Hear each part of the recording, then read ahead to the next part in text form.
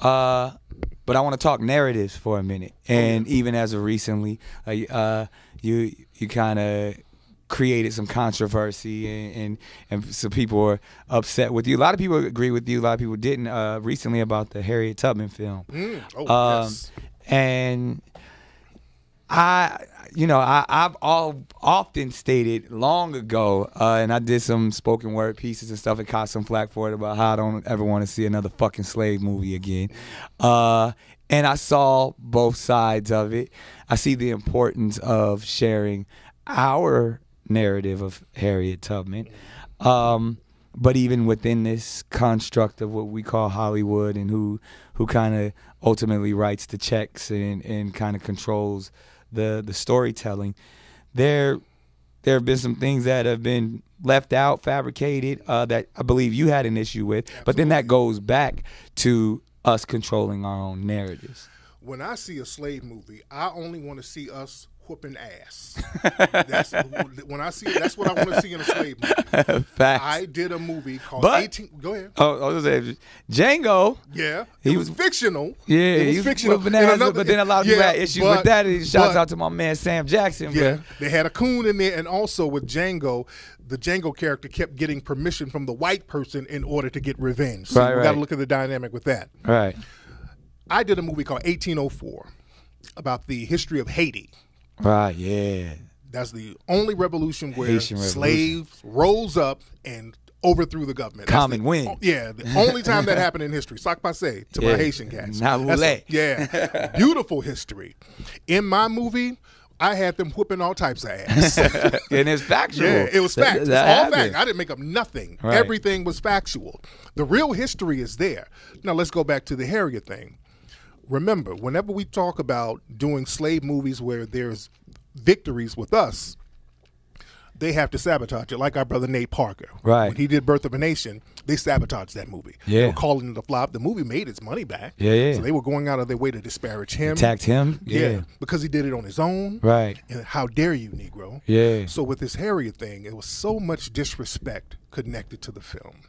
There were some issues that many of us had with the lead actress because of some of the things she said to disparage foundational black Americans. But aside from that, aside from that, let's look at the politics of Hollywood. In the movie, they put a lot of stuff in there that was completely fabricated. Right.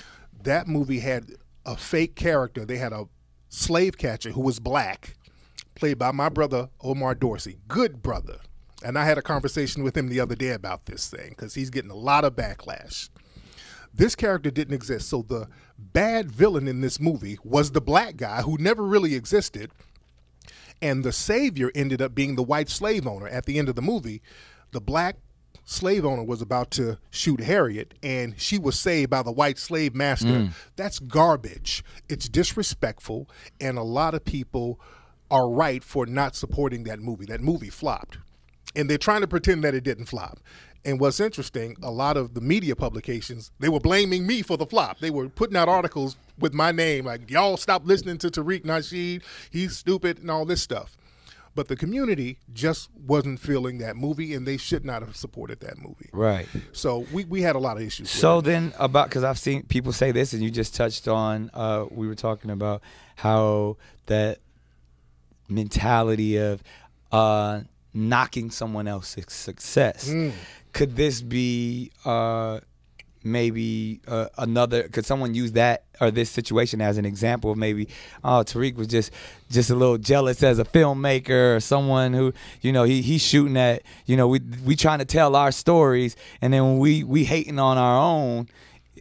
Could that be perceived as this? Bec- no, because when we're talking about Harriet Tubman, we're talking about somebody who shares my lineage. I am a foundational Black American. Right. I mean, I don't. I'm not an immigrant. I don't come from an immigrant background, so my blood flows through that lineage. Right. So we want respect on that. Right. I cannot go to a Nigeria or to Jamaica and disrespect people's lineage by putting a fake character in there that never existed doing something silly. Right. I would get run out of there. If Right. I when I did 1804, I went to Haiti. Right. If I put some fictional stuff in there that didn't exist or showed black people being saved by white people, they would have ran me out of Haiti. Right. So I showed the same respect to other people's cultures, they're going to have to show the same respect to foundational black Americans' cultures. Right. That movie was disrespectful. The way they were portraying Harriet, they were putting these fictional narratives in the film. They were having this this weird relationship with the slave owner. Even the actress, we just don't like the way they portrayed her. She's bucking her eyes, crying every five minutes. That that Harriet wasn't doing all that. Right. So I, I wanted Viola Davis to play that role. Right. I would love the story of Harriet to be told, but don't disrespect it. I have no problem with success. I love, I like Django. Birth of a Nation, I like that. Just putting respect on our history is very important. That's all it is to me. Right. Now, you know, uh, Malcolm X was a, a believer in, uh, you know, controlling the media and, and getting in front of it and controlling our narratives and often say that if you, you know, if we're not careful, uh, we'll start, you know, praising our oppressor. Uh, and, and actually thinking, you know, we're the enemies, the, the when we're actually the people who are trying to help one another, all the way to where you know that was a testament of even one of the reasons why, he, you know, he was he was murdered Yeah. and assassinated. He kind of he spoke it because he was just trying to better our community, uh, but was often attacked and villainized.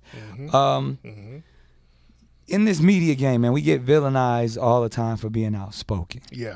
Uh, specifically in this day of social media where now everyone's afraid to speak their mind because of cancel culture.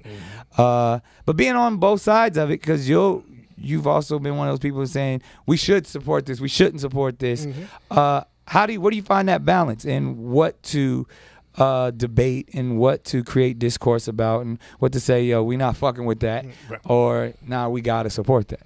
You made a good point about Malcolm X. There's a show on FX Network, The Godfather of Harlem, Yeah, with Forest Whitaker. yeah, Brilliant show. yeah. The Best show on TV. Yeah, not getting as much respect and, not. and awareness as it should. This is the best show on television. Spend the extra five dollars to get Epix. Epix send me a check for promoting your ass. but this show is excellent. Why is this show excellent? Because there's an authenticity to it.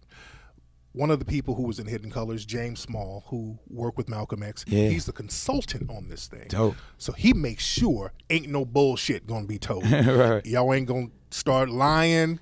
He's told me behind the scenes they tried to give Malcolm a girlfriend. He's like, cut that bullshit. Yeah. Cut all that out. We ain't doing that. Yeah, yeah, yeah. So he's staying on their bumper, making sure you're going to tell this thing authentically. You can add certain things to move the story along, but the basic core of who these people were, you're going to make sure that it's told correctly.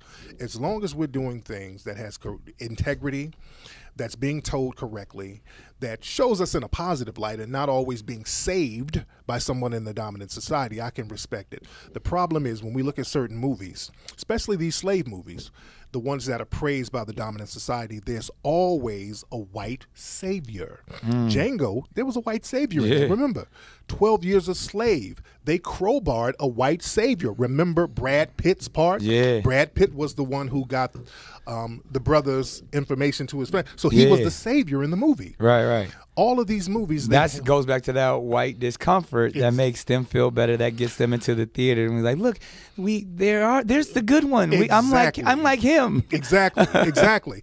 The Harriet movie, they show basically all of the white abolitionists helping Harriet in the movie. Right. So the whole narrative is slavery was bad, but all of us weren't bad, and some of those black guys were bad too. Right. That's a bullshit narrative that we had to call out. Yeah. Nah, that's real. Yeah.